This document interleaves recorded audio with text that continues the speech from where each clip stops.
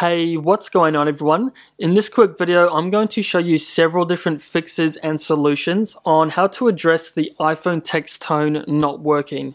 So this means that you may be receiving text messages, but there'll be no alert or notification or sound whatsoever. Um, so I'm just going to show you guys a few awesome tips on how you can fix this. So the first tip that I recommend you to try and this is by far the most obvious, but I know many people, including myself, still fall for it. And that is to go ahead and make sure the silent switch is not on. So if you can see an orange switch there, that means the silent mode is activated. So you just want to go ahead and flick that switch up. And that will just now allow us to have the phone on the loud mode. So we will now receive um, sound on the notifications. So as an extra step, you just want to go ahead and push the buttons and make sure the volume is all the way up as well.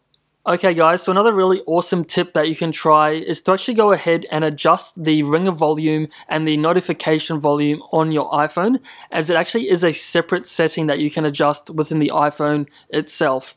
So just before I show you guys this, as you can see my volume is on the maximum. However, if I go into the settings on my iPhone and then if I scroll down to sounds and haptics, as you can see, the ringer and alerts is actually a separate setting and it's right on low even though my volume is on the maximum.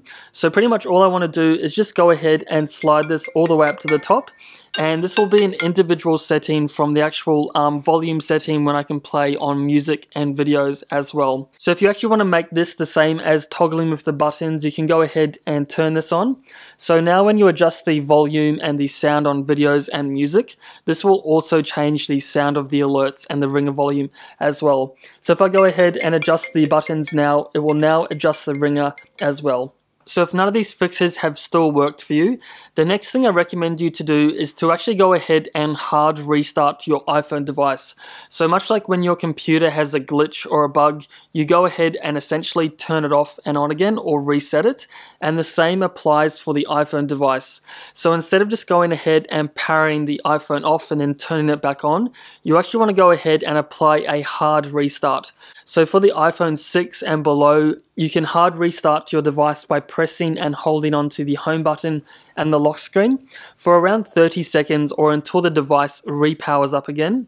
And if you have the iPhone 7, you can do the same by pressing the volume down and the lock screen button together for the same amount of time. And if you have the iPhone 8 or above, so this is the iPhone 10 and 11 and 8, you can do this by pressing the volume up, the volume down, and then pressing onto the lock screen button until the iPhone repowers back up.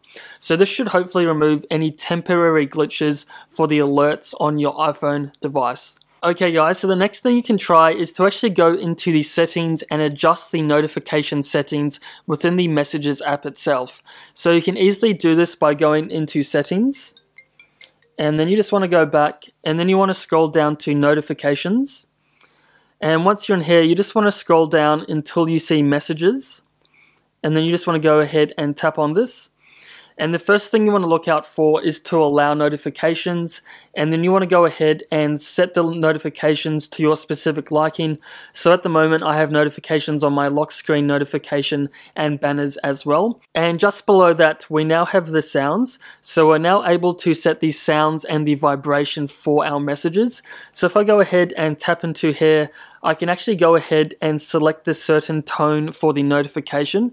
So if this is on none, this is mean I will not receive any sound when I receive a text message. So you just want to ensure that one of these is selected and this will ensure that you do receive a sound notification when you do receive a message as well. And while you're here, you can also set the vibration to your liking also. Okay guys, so the last thing you can try to get the sound uh, notifications back on the messages is to actually go ahead and update the iOS on your iPhone.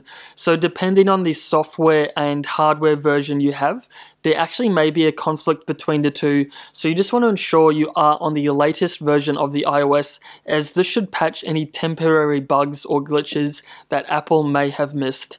So if you want to go ahead and update your iPhone, you can simply do this by going into settings and then scroll down to general and then go to software update and if this is highlighted in blue, this means that there is a new update that you can upgrade to.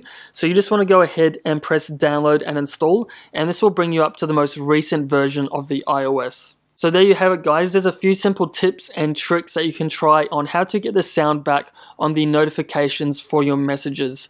So hopefully this video was helpful for you. If you've come up with your own solution or fix, please share it down below in the comment section as you'll be helping many other iPhone users out there. So as always, thanks for watching, I'll see you all in the next one.